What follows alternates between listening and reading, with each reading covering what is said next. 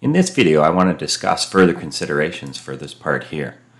The first consideration is when it's time to tear this jig apart and repair it, or for whatever reason it needs to be torn apart, how will this part come off? Well, obviously we'll take the bolts out.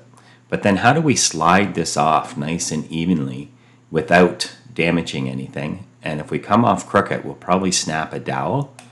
And there isn't a lot of room in here to push it off or tap it off with a hammer. So the next thing I want to do is I'm just going to open this part up. And I'll look normal to this face. And what I want to do is I want to add a threaded hole here in the middle, or if I had more room, closer out to the dowels, two threaded holes, where I could put a bolt in them.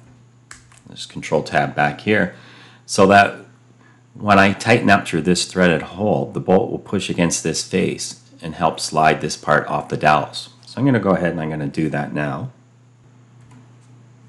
So I've gone ahead and I've added two quarter 20 tapped holes here so that when it's time to disassemble this I can put a quarter 20 socket head cap screw here and push against this face and push this off nice and slowly off the dowels by turning this half a turn, this one half a turn, and keep going back and forth till it just slides off of these two dowels. And if I'm worried about debris collecting in these during use, I can go ahead and put a machine screw in to block them. So I now have the ability to remove this part smoothly without damaging anything because of these two holes. And then next, the pull dowels, as seen here in the video, could be pulled out using the dowel puller.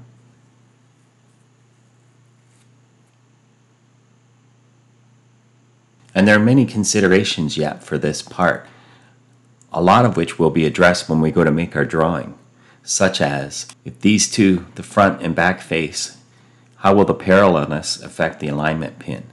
What about the spacing between the two dowel holes relative to the spacing between the center of this hole and the center of my dowel holes? Will that affect the alignment of the pin? So all that will be addressed shortly, but in the drawing we'll address what size should this hole be because the pin has to be made for the maximum material condition of the part hole and then we have to make the hole in this part to have a slide fit for this pin. We also need to consider, and we can do this at the drawing level, what's the tolerance from the bolt hole so that it'll still bolt together. What's the tolerance here for the dowel holes so that it meets the requirements of our part? And what material should this be made out of so it can be hardened and last?